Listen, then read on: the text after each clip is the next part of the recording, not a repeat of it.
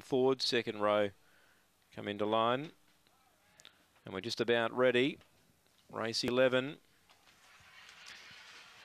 Now here's the lure, set to run.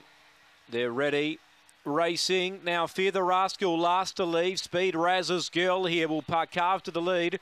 Uh, Cheyenne Black went to second. Uh, third placing Summer Rain, then Bluestone. Uh, wider out Ming Men Shen and Fear the Rascal last. Race right on. Raz's Girl from Cheyenne Black.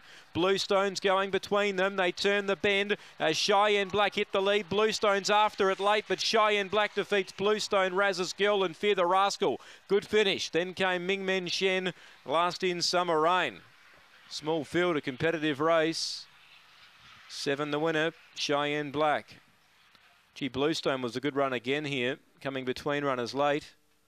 And Raz's Girl, who led them up but got tired, will run third. Eight will get fourth, Fear the Rascal. And he just couldn't get near him early. He's got no speed at the moment, Fear the Rascal, out of the boxes, and it's costing him.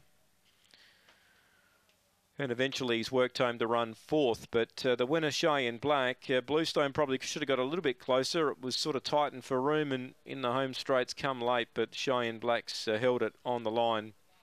7, 5, 2 and 8 are the placings here. We stand by for further.